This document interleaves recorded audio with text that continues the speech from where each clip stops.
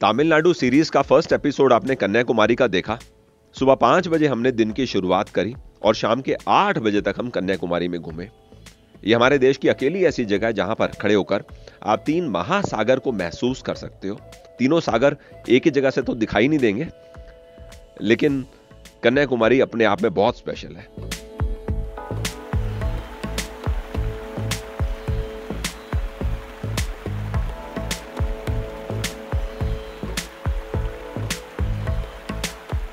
आज का सफ़र हमारा कन्याकुमारी से रामेश्वरम तक का है। जर्नी प्लान करते समय हमेशा मेरी कोशिश रहती है कि हर दिन हम कुछ ना कुछ ज़रूर नया देखें। रिसर्च के दौरान मुझे पता चला कि तमिलनाडु की जो फ़ेमस फ्लावर मार्केट है, वो पास ही है।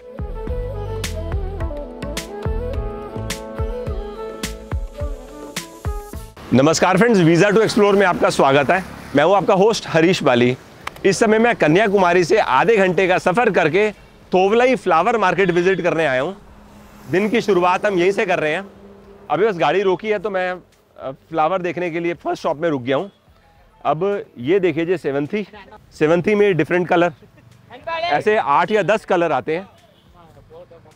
Yellow rose pink rose red rose Tamil Nadu पूरे स्टेट में यहीं से फ्लावर सप्लाई होते हैं। और केरला में भी दूर दूर तक फ्लावर्स इधर से ही जाते हैं। जहाँ पर अभी मैं खड़ा हूँ ना, इस जगह अप्रोक्सीमेट 20 के करीब तो शॉप्स बाहर मेन रोड पे हैं और कुछ शॉप्स अंदर की तरफ़ है। अब हम अंदर की तरफ़ चलते हैं। थैंक्स आओ, अंदर चलते हैं।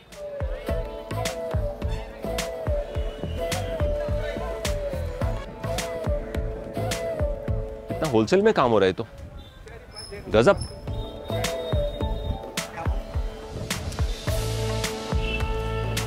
आज तक वैसे मैंने कभी कोई ऐसा एफर्ट भी नहीं किया कि मैं फ्लावर मार्केट विज़िट करूँ, लेकिन यहाँ के जो मैं देख रहा हूँ ना स्केल तो बहुत ह्यूज है। ज़बरदस्त।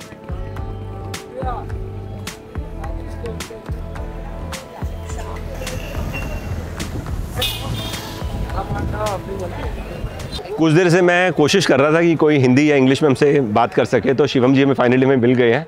तो बेसिक मेरे कुछ सवाल हैं। कितने साल पुराना मार्केट है? वेंडर्स कितने हैं जो यहाँ बेचते हैं? फ्लावर्स कहाँ से आ रहे हैं? और टोटल फ्लावर्स में वेराइटीज़ कितनी है? क्योंकि यहाँ पर मैं देखिए जैसे बताया मैंने आपको फ़र्स्ट टाइम आया हूँ। तो यहाँ तो बहुत बड़ा बाज़ार है मतलब ह्यूज होलसेल मार्केट ना? हाँ मार्केट है। यहाँ पचास साल पुराना मार्केट है ये। ये है यहाँ से मतलब कम से कम पचास किलोमीटर दूर से कुछ फ्लावर आती है। उसके बाद ओसूर अब फिर बेंगलोर उसके बाद सेलम। मदुरई यहाँ से भी बहुत सारे फ्लावर यहाँ आता है। वैरायटी देखने से रोज़ वगैरह देखने में क्या है कि कम से कम दस दस वेराइटी का फूल आता है रोज़ में। यहाँ वैरायटी मतलब बहुत सारे मतलब कम से कम पचास पचास आती है। फिफ्टी। फिफ्टी यहाँ मतलब साढ़े तीन बजे से मार्केट स्टार्ट हो जाता है। अर्ली मॉर्निंग अर्ली मॉर्निंग साढ़े तीन बजे से स्टार्ट हो जाता है। उसके बाद कम से कम टोलो टोलो क्लॉक तक बारह बजे तक रहता है। दस साल पहले बहुत ज़्यादा मतलब आदमी आता था। ये अभी अभी बहुत कम कम हो गया। इयर्स पहले जब यहाँ फ्लावर मार्केट स्टार्ट हुई तब यहाँ फार्म होते थे क्या होता था? फार्म फार्म यहाँ होता था। यही फार्म में फार्म था वो अब मार्केट बन गया है चलो बहुत बढ़िया। थैंक यू ठीक। चलो जी अब हम यहाँ से तिरुनेलवेली के लिए निकल रहे हैं। सत्तर किलोमीटर का ये सफ़र है मैंने अभी गूगल मैप से चेक किया है। एक घंटा बता रहे आप एक घंटे में पहुँच जाओगे। इसका मतलब हाईवे अच्छा है। आज के इस दिन का टूर प्लान करते समय कितना टाइम तो मैंने ये सोचने में ही लगा दिया कि मैं कोस्टल रूट लेते हुए रामेश्वरम जाऊँ, जिसका मतलब है त्रिनेलविल्ली को स्किप करना। कोस्टल रूट लेने से फ़ायदा ये है कि हम मानपाड़ बीच विज़िट कर सकते हैं। सुना काफ़ी खूबसूरत बीच है। यहाँ पर लोग सर्फिंग करने के लिए भी आते हैं। तिरुचेंदूर एक इंपॉर्टेंट प्लेस है। ये भी कोस्टल रूट में ही आती है। फिर मैंने डिसाइड किया बेटर रहेगा हम त्रिनेल विल्ली से ही जाते हैं। तो वहाँ का हम फ़ेमस हलवा खाते हुए आगे चलेंगे। पहुँच गए हम त्रिनेल विल्ली मदुरई से अभी हम लगभग 160 किलोमीटर दूर है और चेन्नई यहाँ से लगभग सवा सौ किलोमीटर दूर है। नाश्ता हम यहाँ पे करने वाले हैं। जानकी राम होटल्स है ना? यहाँ पर नीचे वेज रेस्टोरेंट है, इधर चल के नाश्ता करेंगे। नाश्ते में मैंने अपने लिए यहाँ पर ना दो चीज़ मंगवाई है। पोंगल, साथ में इडली और बड़ा वैसे धनिया चटनी ना मैंने को लगता है, जब मैं साउथ आता हूँ ना तो धनिया चटनी कम खाने को मिलती है। कोकोनट चटनी के साथ टोमेटो चटनी तो जगह जगह रहती है। अरे वाह, क्या बात है। सो so फ्रेश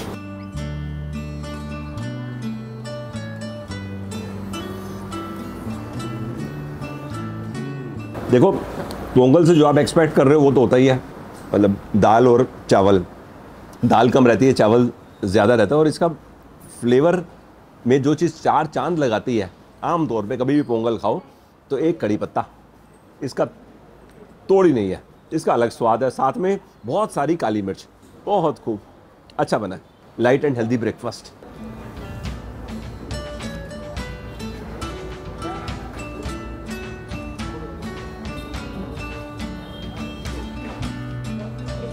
कल मैंने नागर कॉल में जो सांबर टेस्ट किया था, और ये जो सांबर है, दोनों में बहुत ज़्यादा फ़र्क है।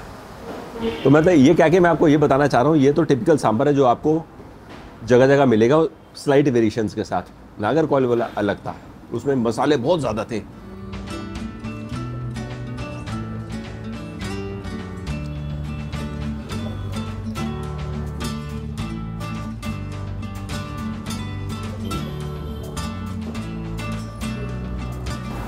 सही है दाल वाला क्रिस्पी है और ओवरऑल टेस्ट अच्छा है।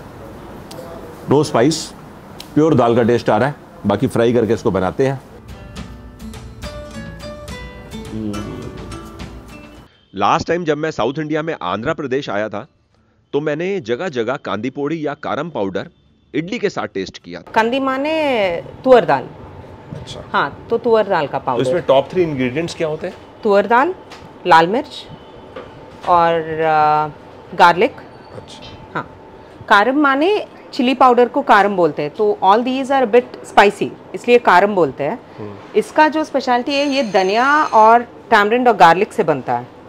और इडली के साथ ज़्यादा खाया जाता जाता है तो this is called idli karam या नल्ला कारम बिकॉज़ नल्ला माने ब्लैक तो this is only powder that is a bit dark in colour तो उसको वो नाम दे दिया। आंध्र प्रदेश में मैंने कहीं पर भी जिंजली ऑयल और गन पाउडर मिक्स करके इडली के साथ टेस्ट नहीं किया मतलब मुझे कहीं दिखा नहीं। यहाँ पर लोग पसंद करते हैं।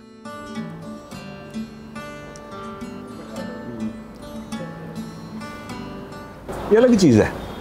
वाह, वैसे इडली के टेस्ट में ना चार चाँद लग गए हैं, ये पाउडर इस्तेमाल करके।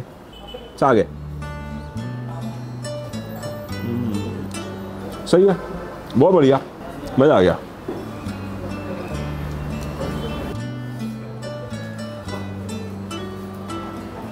Filter coffee? हाँ। शुगर शुगर कम शुगर लेस कम। कम शु- Less- नहीं। Less sugar. Less sugar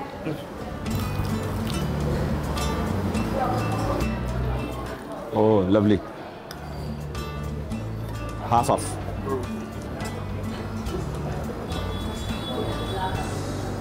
super strong filter coffee बहुत स्ट्रॉन्ग है।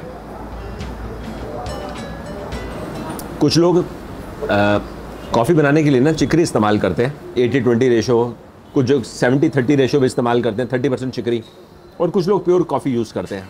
वो अपना हर किसी का तरीका बनाने का। जब मैं कूर्ग, कर्नाटका गया था, वहाँ मैंने एक वीडियो बनाया था कॉफ़ी प्लांटेशन के ऊपर। पूरा प्रोसेस समझाया था, वो आप वीडियो ज़रूर देखना। थोड़ी पुरानी बात हो गई है तो आपको वीडियो क्वालिटी हो सकता है इतनी ज़्यादा। अप टू डेट आज के ज़माने की ना लगे, लेकिन इन्फॉर्मेशन भरपूर है। पूरा कॉपी पे डिटेल्ड वीडियो है वो। जहाँ पर मैं बैठा हूँ ना इसके सामने एक पापड़ की दुकान है। तो शॉप भी विज़िट कर लेते हैं, थोड़े घर के लिए पापड़ ले लेंगे। यहाँ के तिरुनेलवेली के पापड़ भी बड़े फ़ेमस हैं। पापड़, हलवा, ये यहाँ की फ़ेमस आइटम है।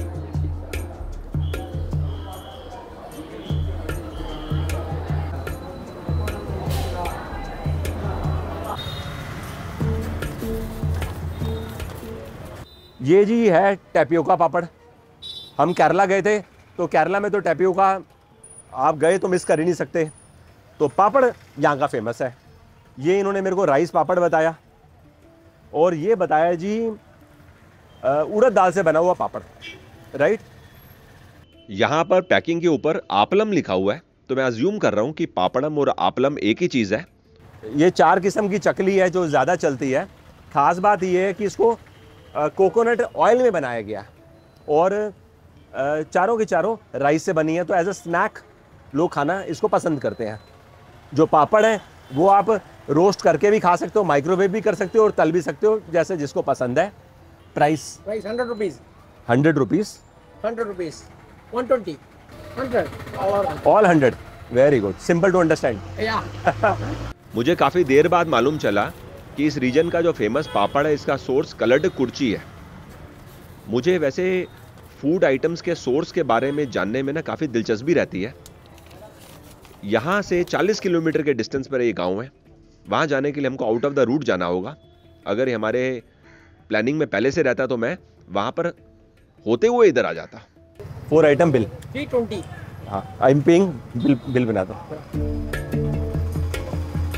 शांति स्वीट्स की शॉप है। वहाँ चलकर हलवा भी टेस्ट करेंगे।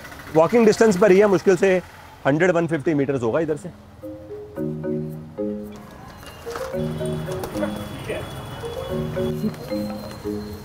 आओ जी।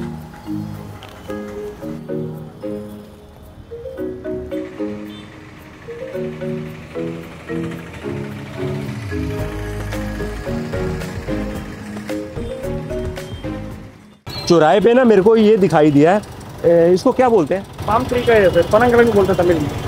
अच्छा ये क्या करते हैं इसे खाते हैं? खाने। अच्छा वन पीस उड़ी उड़ूँगा अच्छा वो क्या है? वो कच्चा वाला है सर कच्चा वाला है? ये पका हुआ है वो कच्चा है। ये पाम ट्री में नीचे की तरफ़ निकल लगता है या ट्री के ऊपर लगता है? ज़मीन में से। ज़मीन में? तो अभी खाएँगे कैसे? यहाँ से जो लाइन है ना लाइन पकड़ के करा आ जाएगा। ऐसा? हाँ। ओ कैसे? हाँ हाँ। सीधा सीधा अच्छा ओके। ओके। ये। अच्छा अभी अ, एंथनी भाई खा इसमें से खाएँगे कैसे? अच्छा अच्छा अच्छा। तोड़ तोड़ के उसका छिलका निकालते रहो। ऐसा खा तो इसके साथ ही खा लूँ। हाँ ऐसा था हाँ देखो इसका टेस्ट में ना कड़वा है ना मीठा है, ना खट्टा है, किसी प्रकार का टेस्ट नहीं है। नियरेस्ट मैच जैसे हम टैपियोका खाते हैं कुछ कुछ वैसा। दैट्स इट अगली बार जब मैं तमिलनाडु, आंध्र प्रदेश, तेलंगाना या वेस्ट बंगाल में ट्रैवल कर रहा हूँ तो पनक गलंगे को डिटेल में समझूँगा। इस बार मैं ना समझ नहीं पाया ये पाम ट्री की रूट में ग्रो कैसे होता है। वैसे एक बहुत अच्छा वीडियो भी है विलेज कुकिंग चैनल करके। तो वहाँ उन्होंने समझाया, लेकिन पूरी तरह से मेरे को समझ में नहीं आया। तो इसको ऐसे स्नैक ले लेते हैं किसी चीज़ के साथ खाते हैं? चटनी और समथिंग नहीं ना ऐसे ही खाते हैं। कोई चटनी बना खाते हैं। अपने अपने मर्ज़ी से। तो पकाते कैसे? बॉईल करके? बॉइल करके पानी से। ये जो पीला कलर की है थोड़ा हल्दी डालते हैं। ये पूरे का कॉस्ट क्या? पचास रुपया। फिफ्टी रुपीज़ हाँ सिक्स पीस सही है बहुत बढ़िया। उसके बाद में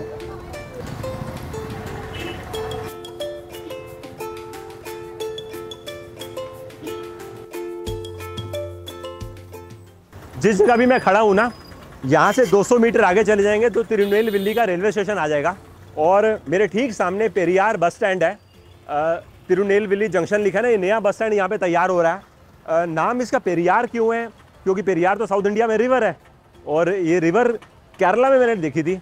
आइए जी नज़दीक में शांति स्वीट्स है वहाँ चलेंगे।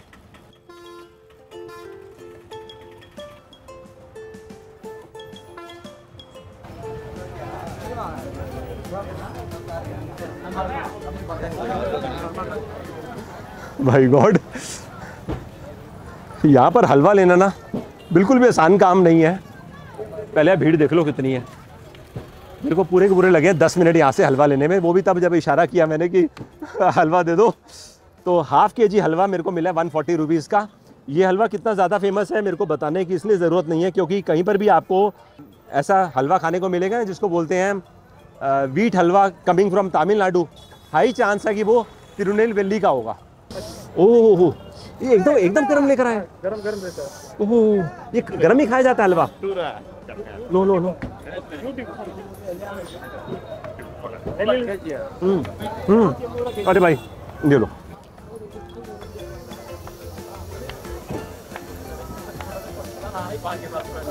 भाई गॉड गजब। ये तो चीज़ ही नेक्स्ट लेवल है। होए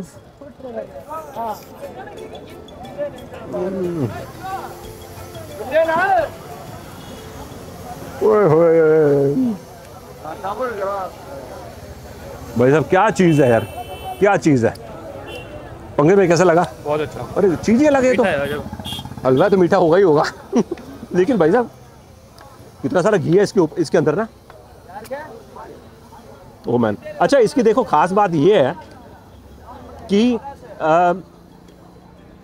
वीट से इसको तैयार किया गया है। ये इसका बे, बेस इंग्रेडिएंट है। घी की लोडिंग फुल ऑन है। और इसमें कैरामलाइज शुगर डालते हैं ऊपर से और सर्व्ड हॉट आमतौर पे मैं ना इतना ज़्यादा मीठा आजकल परहेज करता हूँ लेकिन यहाँ तो अपने आप को रोक पाना बहुत मुश्किल है। अच्छा ये जो इतने लोग यहाँ खड़े हैं ये हमेशा इतना क्राउड रहता है? तीन सौ पैंसठ इंसान पर। ओ मैन क्रेजी है। वैसे यहाँ पर आके ना, तिरुनेलवेली का फ़ेमस हलवा खा के हमारा दिन बन गया। इसको ऐसा बीट हलवा, गेहूँ का हलवा, ये सब नहीं बोलते इसको तिरुनेल तिरुनेलवेली का फ़ेमस हलवा बोलते हैं। ये इसका नाम है। गजब। अति सुंदर। चलिए, हलवा फिनिश करके आगे चलेंगे।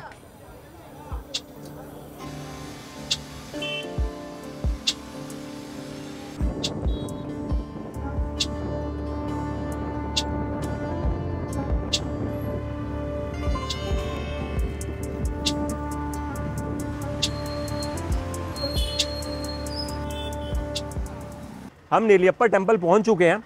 12 बजे से लेकर चार बजे तक मंदिर क्लोज रहता है। हम लोग लेट हो गए थे फिर भी यहाँ पर इस वजह से आए कि बाहर से दर्शन कर लेंगे।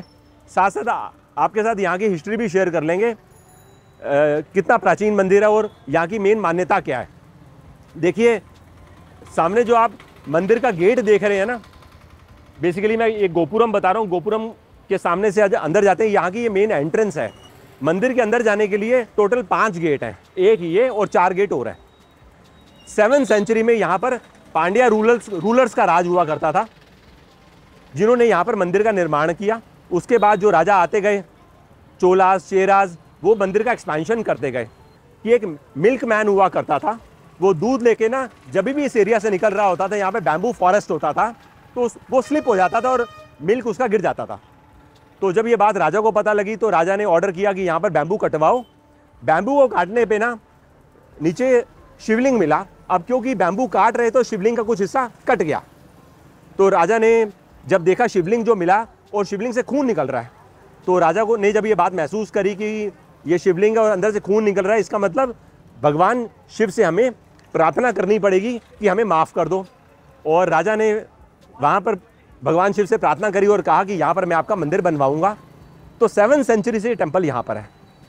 इस शहर का नाम तिरुनेलवेली कैसे पड़ा, उसके बारे में आपको कुछ बताता हूँ। तो एक फार्मर होता था जिसकी पैडी क्रॉप थी, बहुत बारिश हुई तो फार्मर अपने पैडी क्रॉप को बचा नहीं पा रहा था।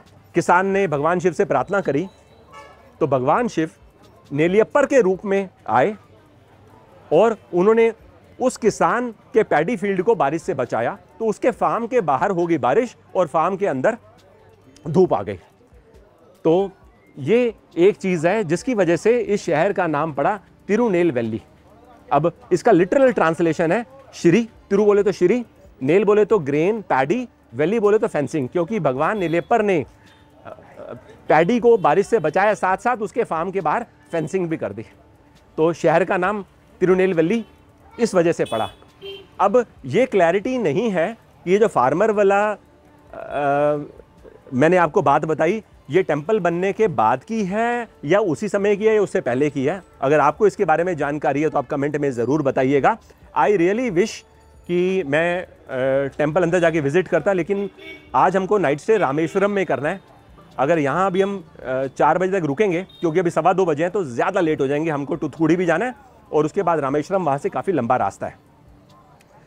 तो अब हम यहाँ से चलते हैं और आपको कुछ देर में ज्वाइन करेंगे और रास्ते में अगर कुछ इंटरेस्टिंग हमें देखने को मिलेगा तो हम ज़रूर रुकेंगे। राइट है? चलो, चलिए जी, अब हमारी गाड़ी कहाँ खड़ी है? आई थिंक वहाँ पर सामने।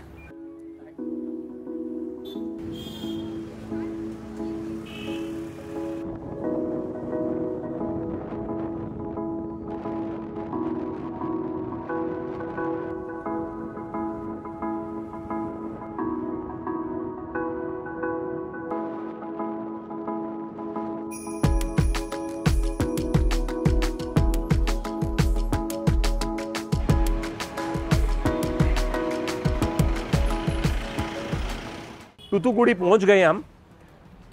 सबसे पहले ना, खाना खाने के लिए हम आए हैं अंडरवर नाइट क्लब। मैं एक्सप्लोर कर रहा था कहाँ कहाँ जा सकते हैं। यहाँ पर हमको ना पोरीचा पराठा खाना है।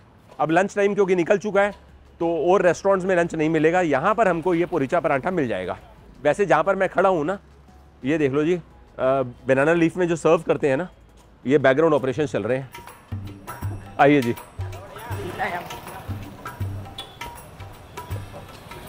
सामने जो आप परोठा देख रहे हैं ना, इसी को खाने के लिए हम यहाँ पर आए हैं। पोरीचा परोठा। हम पंजाबी में बोलते हैं ना, पराठा। यहाँ पर परोठा। एच नहीं आता। तवे पे सेकते हैं। उसके बाद फ्राई करते हैं। ये फ्राई हुआ, किया हुआ आप यहाँ पे देख रहे हो। तो अभी हमें ये भी पता लगा है कि इसमें ना मैदा इस्तेमाल करते हैं और थोड़ा सा नमक डालते हैं। वैसे कुछ लोग ना, थोड़ा सा दूध भी ऐड करते हैं। कुछ लोग शुगर भी ऐड करते हैं। बाकी हर किसी का बनाने का अपना टेक्निक है। परिच पोरीचा परोठा तू? हाँ खाएगा। बैठते हैं साथ में क्या है? चिकन है मटन है। वेजिटेरियन ऑल्सो नो वेजिटेरियन ही नॉन वेज नॉन वेज ठीक है। जैसा चाहिए वैसे ही मिलेगा। अच्छा तो मटन ग्रेवी दे दो। Mutton gravy.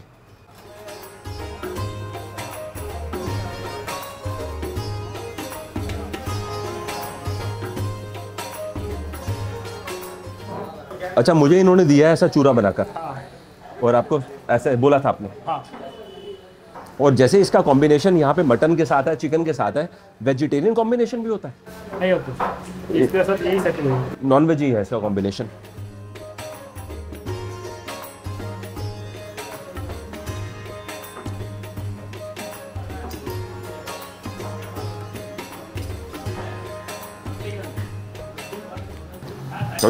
ग्रेवी डालनी पड़ेगी। हम्म। बहुत बढ़िया। हाँ ग्रेवी बहुत गर्म है। इन्होंने इतना सारा ये मटन ग्रेवी तैयार और चिकन ग्रेवी तैयार किया हुआ है। ये सब निकल जाएगा इनका? ग्यारह साढ़े ग्यारह बजे खाली हो जाएगा। सारा खाली हो जाएगा। अच्छा जी।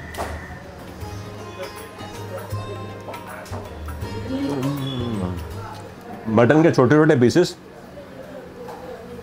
उरिचा परोठा के साथ मिक्स करो, साथ में मस्त ग्रेवी बहुत बढ़िया स्वाद है।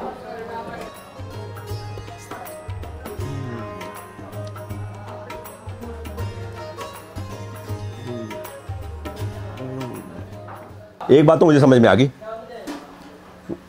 ये पर, ये परोठा एंजॉय करना है ना तो ग्रेवी के साथ ही मज़ा आएगा। जितना परोठा उससे ज़्यादा ग्रेवी सो कर लेता है ना परोठा ग्रेवी को।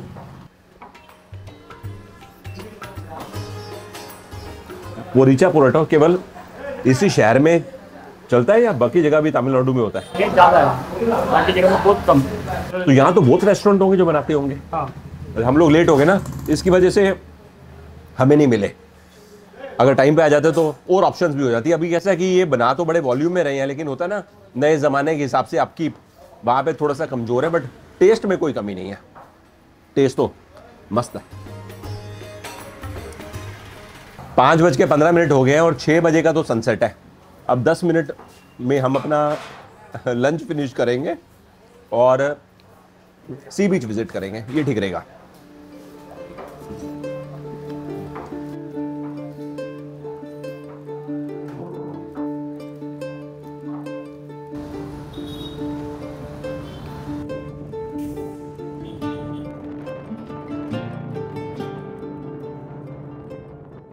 मुथु नगर बीच हम आ गए हैं। सही है, बीच के बाहर बहुत बढ़िया सी पार्किंग बनी हुई है।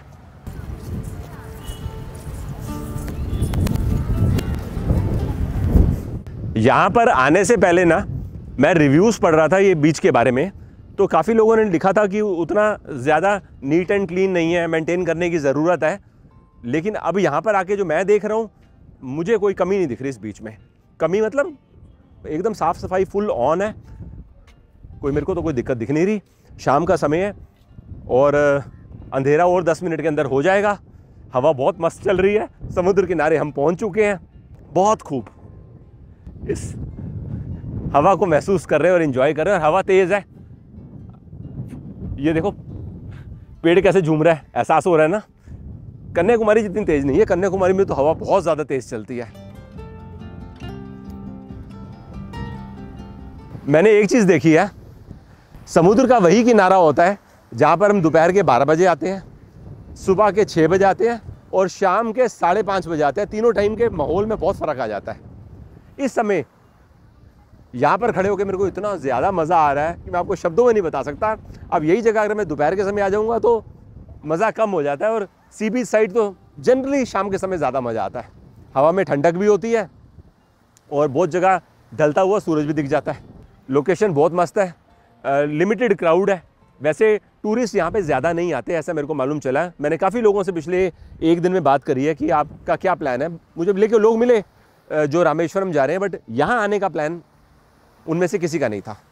एक होता नॉलेज नहीं होती और दूसरा फिर हर किसी का अपना टाइम मैनेजमेंट होती है कैसे करनी है। बाकी आई एम फीलिंग गुड कि हम यहाँ पर आए स्पेशली अभी हमने आ, लेट लंच किया और शाम के समय समुद्र किनारे खड़े होके बहुत आनंद आ रहा है।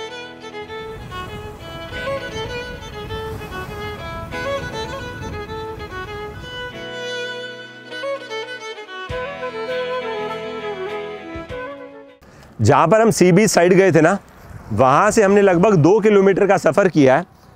सॉल्ट पैन देखने के लिए पहुँच गए हैं। पहले बता देता हूँ मैं कि हम जहाँ खड़े हैं ना, यहाँ सीन क्या है। समुद्र मेरे लेफ़्ट हैंड साइड पे है। यहाँ से अगर हम एरियल डिस्टेंस वाइज बात करेंगे तो मुश्किल से वन फिफ्टी मीटर्स समुद्र का पानी नीचे से मतलब इस रोड के नीचे से ऑटोमेटिकली ग्रेविटी के थ्रू यहाँ तक आता है। अब जब इनको पानी की ज़रूरत नहीं होती तो पानी का रास्ता बंद कर देते हैं तो समुद्र का पानी यहाँ पे आके इकट्ठा हो गया। धूप से पानी इवेपोरेट होता है, नीचे नमक बच जाता है। जो यहाँ पर हम देख रहे हैं और इसको सॉल्ट पैन बोलते हैं, ये दिख रहा है आपको, तरपाल से नमक को कवर किया हुआ है। नीचे इसके पूरा नमक है। अब यहाँ पर जो बेसिक प्रोसेसिंग का काम तो कर देते हैं, बाकी फैक्ट्री में फिर नमक चला जाता है और वहाँ पे वो फाइनल उस पर प्रोसेसिंग भी करते हैं आयोडीन वाला काम भी करते हैं। सॉल्ट में आयोडीन ज़रूरी होती है। सही है। बहुत खूब। आगे चलते हैं। यहाँ पर खड़े होकर ना नमक हमें तो अच्छे से दिख जाएगा। इन्होंने ना पूरी तरह से तरपाल से कवर नहीं किया। वैसे जिन लोगों ने आज से पहले कभी सॉल्ट पैन नहीं देखा, उनके लिए थोड़ा हैरानगी की चीज़ हो सकती है। नमक कैसे ढेर बना के इकट्ठा किया हुआ है, यही नमक हम अपने घरों में इस्तेमाल करते हैं प्रोसेसिंग के बाद। आज दिसंबर फोर्टीन है। अगर हम यहाँ पर मई मंथ में, जून में या जुलाई में आते हैं, जब बारिश नहीं होती वैसे आमतौर पर मानसून इन्हीं महीनों में होता है लेकिन यहाँ पे बारिश नहीं होती। उस समय धूप होती है। तो आ, पानी वेपोरेट हो जाता है नमक बीच में बच जाता है। वो फिर बचा हुआ नमक यहाँ पे इकट्ठा करते रहते हैं। मैंने अभी कुछ देर पहले आपको बताया। यहाँ बारिश कब होती है? दिसंबर और जनवरी में। चेन्नई से लेके मैं इस एरिया तक की बात कर रहा हूँ जहाँ पर अभी मैं खड़ा हूँ। कन्याकुमारी में भी दिसंबर जनवरी में होती है बारिश लेकिन कंपैरेटिवली कम। लेकिन ये जो रीजन है बारिश का रीज़न है और यहाँ पर नमक के ऊपर जो लोकल लोग हैं, उनकी डिपेंडेंस इतनी ज़्यादा हाई है कि वो एक तरह से प्रे करते हैं कि बारिश कम हो। वैसे आमतौर पे काफ़ी जगह ऐसा होता है जहाँ एग्रीकल्चर सेक्टर स्ट्रांग होता है, वह बारिश के लिए प्रे करते हैं, किसान की बारिश हो, लेकिन यहाँ पर बारिश होने से उनका फाइनेंशियल लॉस हो जाता है और पूरा मेहनत पानी में चली जाती बारिश होगा तो नमक फिर से बिखर जाएगा ना? सही है, बहुत बढ़िया। चलो एक काम करते हैं, यहाँ पर ना हम वापस सिटी की तरफ़ चलते हैं। अब आगे की जर्नी हमारी थोड़ी लंबी है। फ़िल्टर कॉफ़ी पियेंगे और फिर रामेश्वरम की तरफ़ आगे बढ़ेंगे।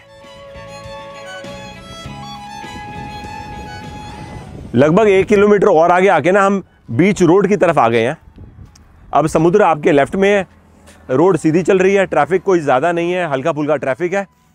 यहाँ पर खड़े होके ना तेज़ हवा महसूस हो रही है। जैसे कुछ समय पहले हम सी बीच विज़िट करने गए थे, मैंने बताया ना, हवा तेज़ चल रही है, वो सेम एहसास यहाँ पर हो रहा है हवा में ठंडक है। सामने ना समुद्र तो अच्छे से नहीं दिखाई देगा, फिर भी थोड़ा बहुत आप विजुअल देखो। वो सेंट्रल गवर्नमेंट का थर्मल पावर प्लांट है बेसिकली स्टेट गवर्नमेंट के साथ टाइप है।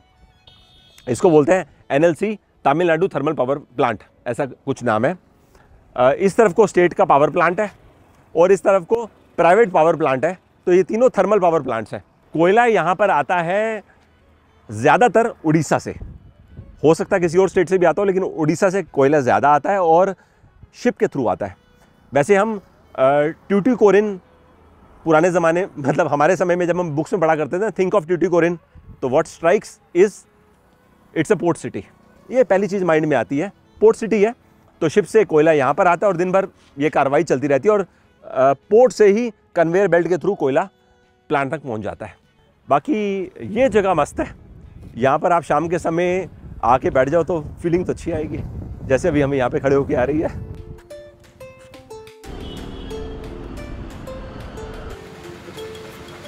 कॉफ़ी पीने के लिए हम लोग टाउन की तरफ़ आए। यहाँ पर मेरी मुलाकात अमिता जी के साथ हुई है। आपने बताया आप झारखंड के रहने वाले हो। हम्म, अच्छा जैसे मैं आपसे अभी पाँच मिनट से बात कर रहा हूँ तो हम अगर यहाँ पे एक दो घंटा पहले आ जाते तो और कहाँ जा सकते थे? सर, आप हार्बर बीच जा सकते थे और बगल में ही पोर्ट है। आप पोर्ट जा सकते थे, पर वहाँ टूरिस्ट के लिए थोड़ा मुश्किल है। स्पेशल परमिशन लेना होता है। और बगल में ही हार हेयर आइलैंड है। आप वहाँ भी जा सकते थे, बट उसके लिए भी थोड़ा परमिशन लेना होता है। और बसेलिका है, आवर लेडी ऑफ़ स्नो। तो वहाँ पे वो फिफ्टीन सेंचुरी का बसेलिका है। और इंडिया के 29 बसेलिकाज में से वन है वो। और वहाँ पे फिफ्थ अगस्त को फेस्ट होता है उसका और काफ़ी बड़ा होता है और उस दिन सारे सिटी में छुट्टी होती है। ऑफिसेज स्कूल्स ये सभी छुट्टी होते हैं। तो वनडे का फेस्टिवल होता है? वन डे का फेस्टिवल होता है सर पर प्री सेलिब्रेशन टेन डेज़ तक होती है। चलो सही है आपसे मुलाकात भी हो गई और साथ साथ हम लोग फ़िल्टर कॉफ़ी भी पी ली। अब हम ना यहाँ से निकल रहे हैं रामेश्वरम जाने के लिए। अप्रॉक्सीमेटली चार घंटे लगेंगे रामेश्वरम पहुँचने में। Distance wise approximately one one eighty kilometres highway वैसा नहीं है जैसा अभी हम जिस हाईवे से आए हैं। सिंगल रोड है ऐसा आपने बताया। अ, लेकिन चार घंटे में आसानी से पहुँच जाएँगे। राइट अब क्या करते हैं ये एपिसोड हमारा यहीं पे फिनिश कर देते हैं। आठ बज गए हैं तो रामेश्वरम जाकर हम पहुँचेंगे कितने बजे? बारह बजे। और कल सुबह आपसे मुलाकात होगी नया एपिसोड नई जर्नी अभी के लिए आपको बाय बाय और nice meeting you thanks for your time